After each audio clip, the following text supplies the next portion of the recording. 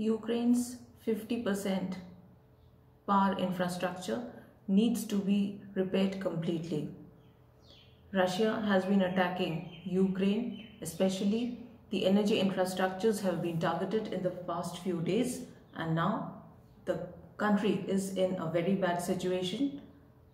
Power grids have been destroyed though work is going on full swing and repairs are being made. In some areas power has been restored completely whereas in some areas the power grids have been completely damaged. Now new reports reveal that more than 50% of the energy infrastructure in Ukraine needs to be repaired completely. President Zelensky has been trying to get everything repaired as quickly as possible and work is also going on but due to the recent rains and snowfall in Ukraine things have become worse.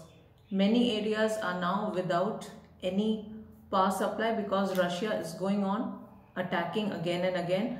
Once it gets repaired, the other day it is damaged by Russia. This has been going on. So now Ukraine has a requirement of repairing at least 50% of the power infrastructures without which the country will not be able to function properly. Electricity cuts have become very common in Ukraine and many areas are still without power supply.